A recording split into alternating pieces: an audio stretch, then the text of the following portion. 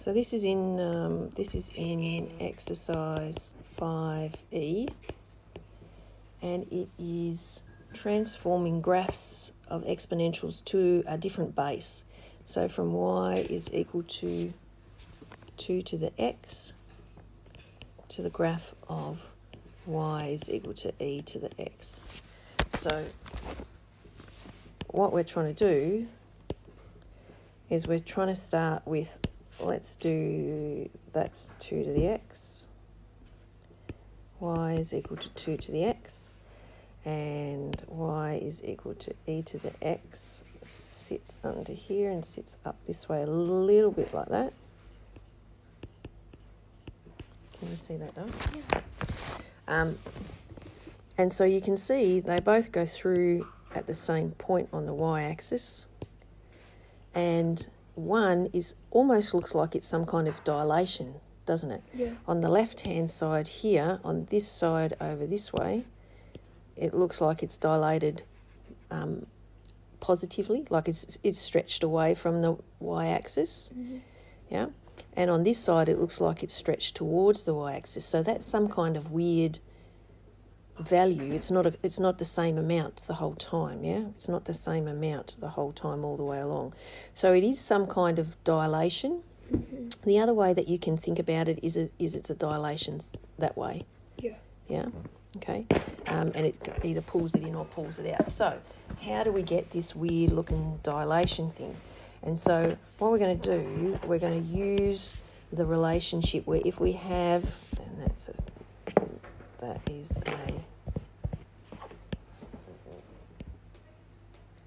where if we have everybody's everybody seems to be okay with this thing e to the x yeah mm-hmm. that that's equal to the x comes out the front and you get log e to the base e which is x times 1, which is x. Everybody seems to be okay with that, yeah? Yeah.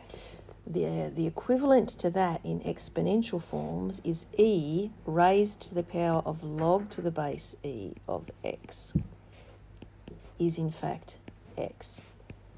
Mm-hmm. Right? And that's the one that we're going to use here to change to a different base, okay? So for this to work, before in the log one you needed to have the base and what you were for has a, as a had as a power as the same thing and here we're having our what we've got base and our base, being the same thing and they undo each other okay. all right so cool yeah okay with that yeah all right so what you what that allows you to do is to do something like this. So if we had e to the x,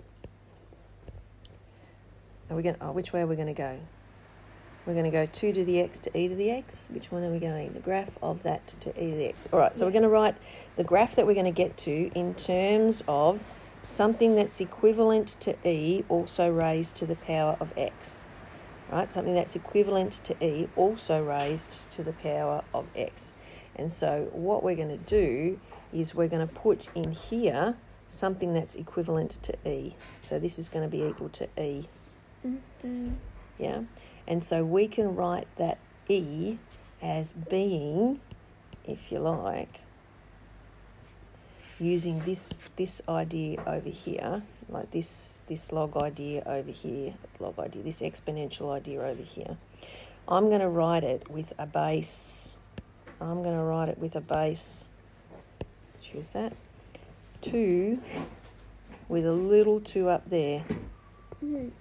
Right, so 2 log to the base 2, and I should write my base as a base. Oops, that should be a 2. Get that right. 2, 2, and then that E. E. Does that make sense? Yeah. Alright, so that should be a 2 there. Alright, so I've got the pattern.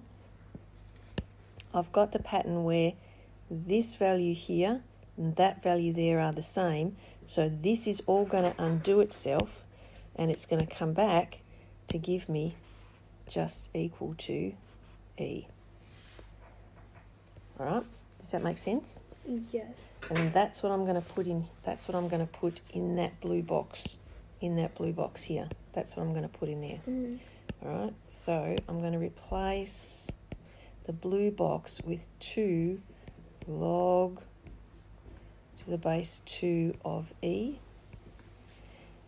I'm going to pop that in that, that what was in that box and that becomes an x. Mm-hmm. And see what I've got now is Do the powers cancel Oops. each other out?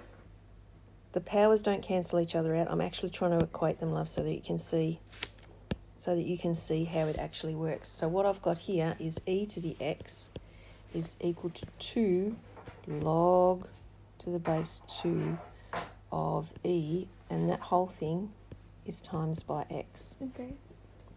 Okay? Mm.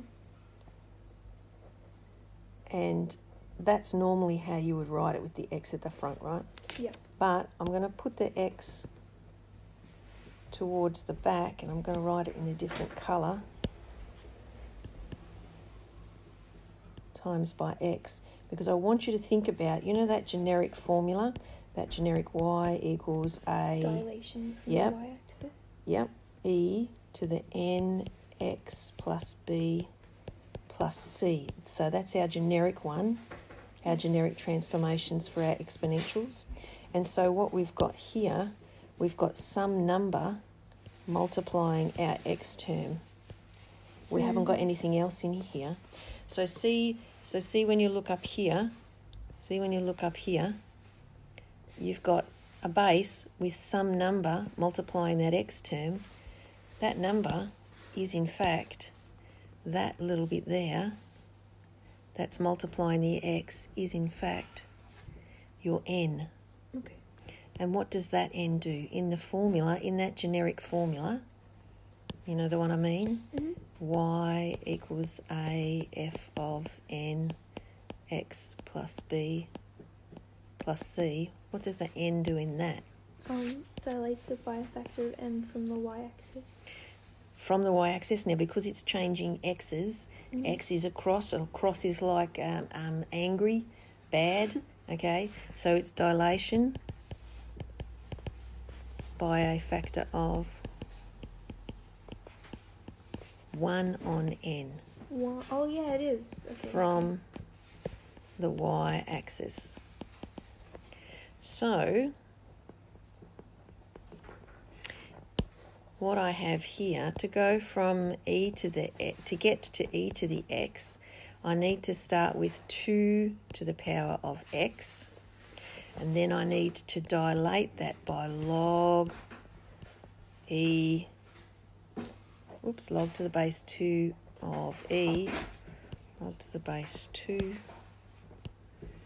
of e.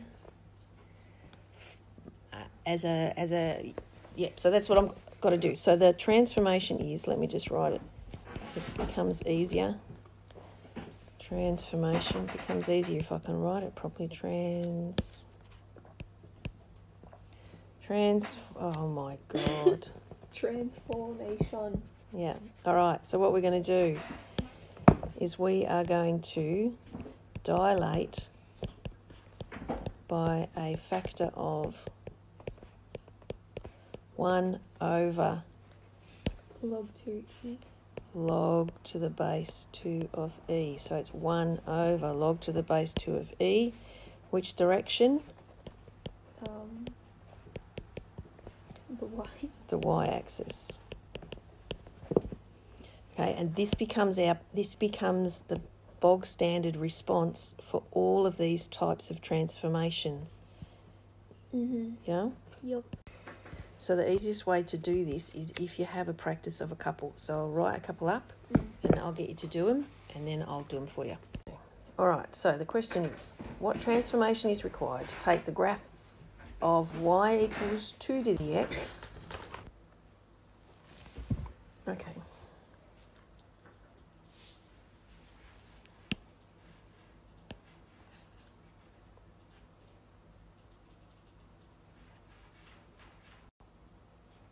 Okay, so what we want to do is we want to make 2 to the x into 3 to the x. So what we need to do is we need to change 2 to the x with some kind of power thing up the top here so that it's going to drop out, make that equal to, so that it's going to drop out a 3. And so for it to drop out a 3, what we need to have up here is log to the base 2 so that it matches with this base. And then for the 3 to drop out, we need that 3 to be there. So this then becomes our graph of 2 to the nx. And that n is that thing there. So if we were to describe the change that we need to make to the graph of 2x, because that's the one that we're starting with, okay, then it becomes the change is dilate by a factor of 1 over n, which is log to the base 2 of 3, from the y-axis. And just to clarify, we're going from the graph of y equals 2x to the graph of y equals 3x. So if we start with y equals 2x and dilate and dilate, come here, dilate by a factor of 1 over log to the base 2 of 3 from the y-axis, what you actually get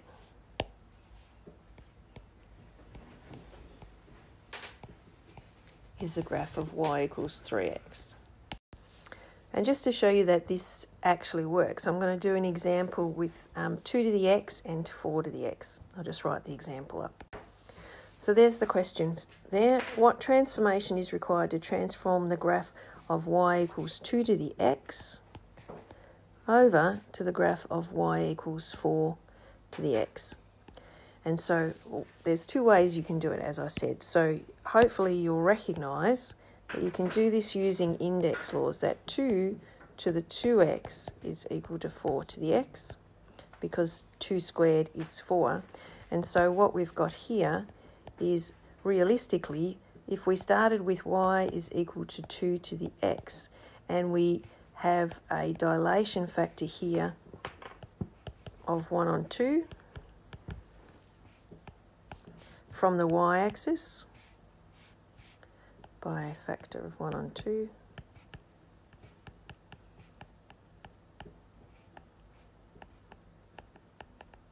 You'll get the graph of y equals x to the well, 4 to the x, not x to the 4. Now, if we do it using to the power of a log, we start with 2 to the x is going to be equal to 4 to the x, and we need to put something in here that's going to drop out that base 4 that we need. So we need to have log to the base. Let me go here, zoom in a little bit. We need to have log to the base 2 so that it'll cancel with that 2, and then we want it to drop out the 4. Okay, so this time you can see that our n here, our dilation factor, has a log in it.